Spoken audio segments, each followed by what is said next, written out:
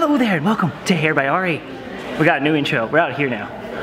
Anyways, today's episode, how to work with your curls. He's got curly hair. We're gonna be working with him, not against him. We're just gonna go with the flow today. Just let it do its thing. I'm gonna teach you some tricks on how to just let it just be its natural self in its natural state. Does that sound, does that sound good to you? It's super cool, It's super cool, right? David Ari. Yeah. It's super cool. Yes.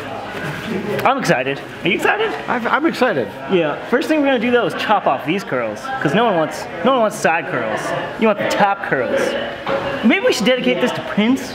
Oh. He had like the top curls going on, right? That's right. This episode's dedicated to Prince. Let's go.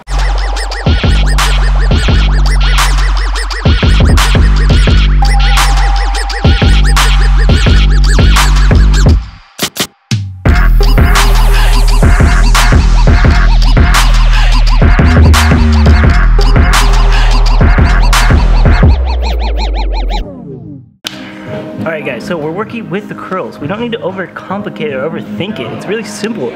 We need to let the products do the work for us. It's a very important part of hairstyling. Letting the products do the work for you. Letting the product do the work for you. It would be very difficult for me to do my job without products. So what we're gonna be using first is the primer. Taste it. Curl. There's a hundred curl products out there. I've used a lot of them, um, but this one is definitely my favorite so far. So you just want to start with the primer. I like to shower my clients with it because it smells so nice. It smells good, right? And then you, the way to work curls is you want to finesse it like so. Just give it a little, you know, make it, make it your friend. Just give it a little finessing. Then we're gonna be going in with the defining cream. It's not too heavy, so it's gonna, you know, give it some lift. And we just need a little bit, guys, not too much. Rub it in your, your fingertips there, just a little bit.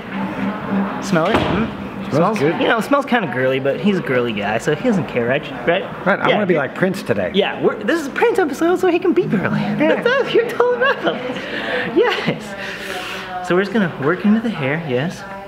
You know what, since this is Prince Day, we're gonna be using a little mousse as well. I'm sure Prince used some mousse in this. so we're just gonna, just broke it, that's all right. It's even better. Prince definitely used mousse. So we're using a little mousse, guys. Just to give it that extra bump. And these are all curl products. So it's gonna help us work with his curls. Working with the curls. Just fluffing it up, okay? And then another very important tool in the curl arsenal is the diffuser. Very important tool. And how you use the diffuser is you don't want to be doing this all the time. You just want to, you don't want it too high either. If it's too high, you're going to frizz out the hair. So just a high heat, low speed, and then you just want to hold that there. Just be very patient. Okay guys, so now that it's dry, we've, you know, this is where the curls are naturally gonna live. So this is when we just start, you know, just shaping it. And this is where you need to be a little artistic.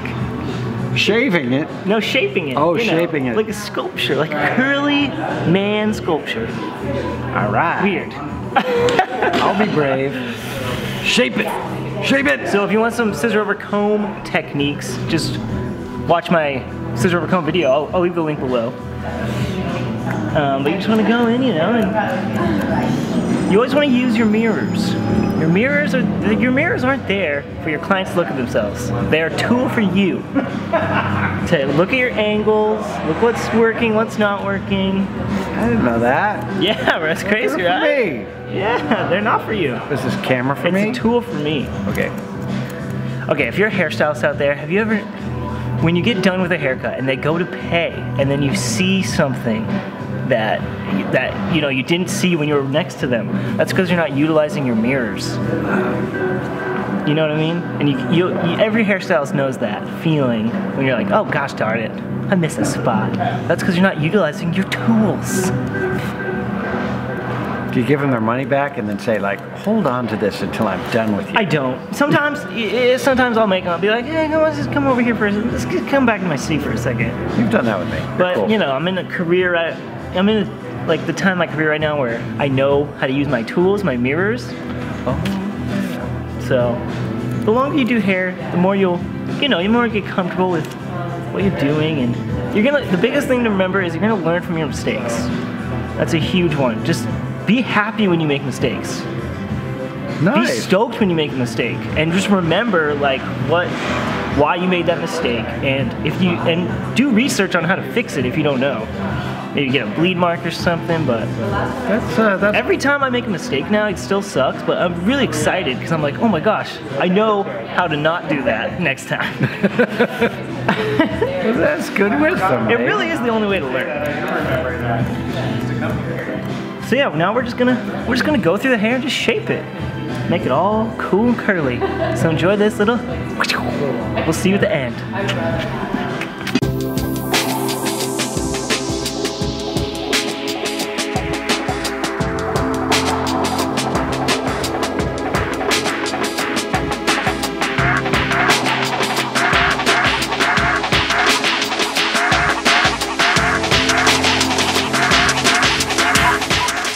All right, you guys. So we just got done working with the curls. Oh, They're your friends. Don't be scared of those curls, guys. Just let them, let them do their thing. You know, let's let's show the people. Look at that, you guys. See? You know, we got rid of the curls on the side, but on the top, we're just working with them, making them look nice. You look good, right? Feel good? You did it. He's ready. He's ready to go do stuff out there and look nice and feel good. Woo! Wow. Anyways, you guys, thank you for watching. Have a good rest of your day. Peace.